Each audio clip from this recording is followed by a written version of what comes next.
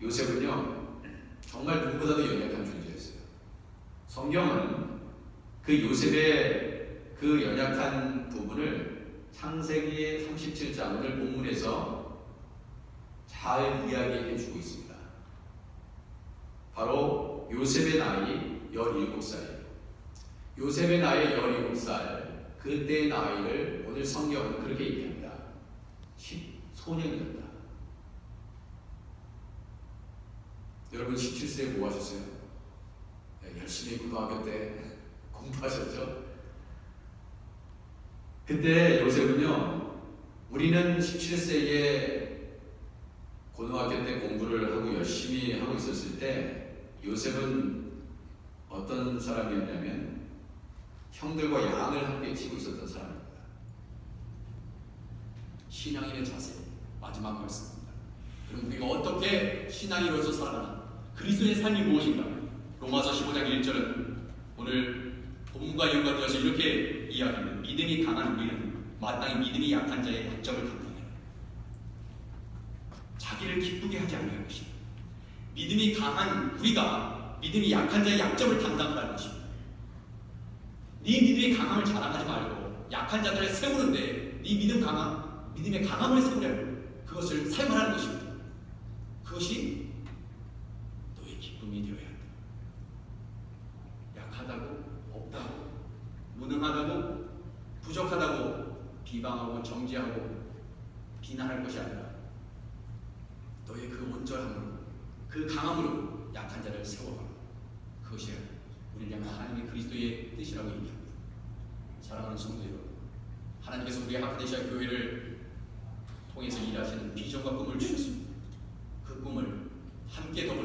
우리 모두가 다 잘 되게 하기 위해서 하나님께서 우리에게 비전과 꿈을 주시고 이 땅에 이, 이 바로 이 이곳에 하나님께서 교회를 세우시고 우리 교회만 잘 되는 것이 아니라 우리 교회 당장을 넘어서 뉴욕에 하나님의 선하신 역사를 이루어가도록 우리를 부르시고 오늘도 우리를 통해서 일하시는 그 하나님을 바라보는 저와 여러분의 삶이 되시기를 주님의 이름으로 축원해 드립니다. 기도하겠습니다.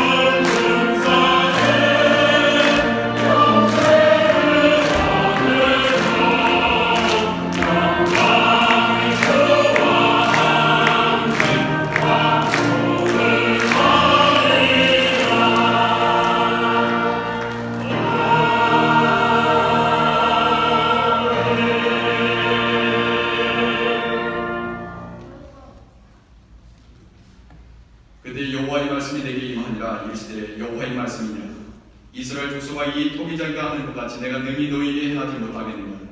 이스라엘 족속과 진흙이 토기장의 손에 있음 같이 너희가 내 손에 있느니라. 아멘. 이제는 우리 주 예수 그리스도의 은혜와 하나님 아버지의 극진하신 사랑하심과 성령의 역사 결정으로 충만하심이 하크네시아 교회 가운데 같은 비전과 꿈을 주시는 그 하나님 앞에 하나님 서로를 세워가며 믿음이 강한 자가 믿음에 아버지 연약한 자를 세워주며 그것이 그들의 기쁨이 되기를 소원하며 결단하고 이제를 따라가는 사랑하는 종들 위해 이제부터 영원까지 함께 하시기를 간절히 축원드리옵나이다. 아멘.